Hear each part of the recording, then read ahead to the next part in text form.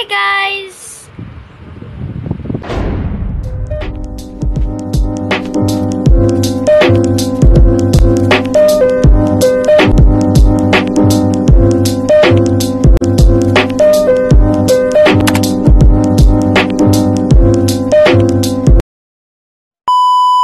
So, nandito na naman ang bagong episode.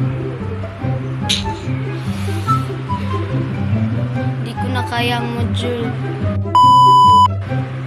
DepEd, baka naman. Naman sa mga bata! Ayun guys, magandang gabi sa inyo, magandang hapon, magandang umaga sa inyo guys. So, sa 4 episode ngayon guys, ay makita lang ko sa inyo ang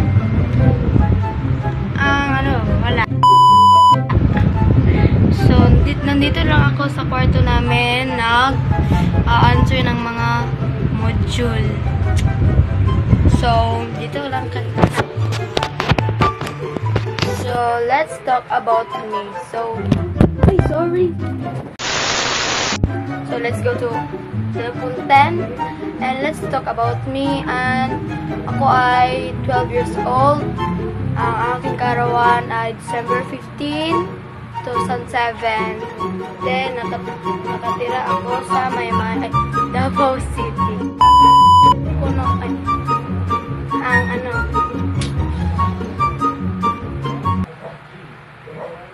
Pressure Beach. So, ano, nang wala akong magawa, guys. So, then mahilig ako magsayaw at magbasa ng mga libro kung walang magawa.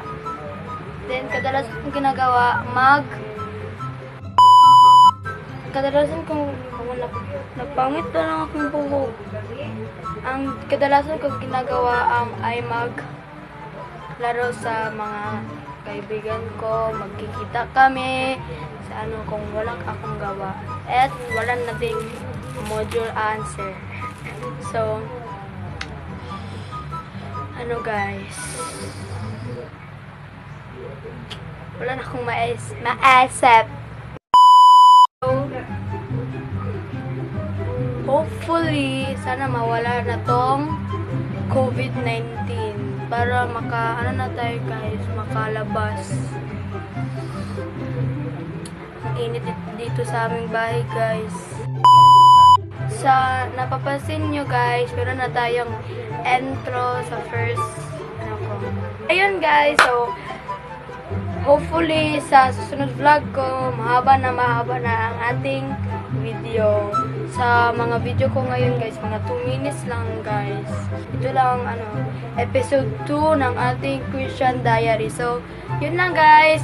Don't forget to subscribe and click the bell bot button guys. So, para updated din kayo. So, yun lang guys. Bye!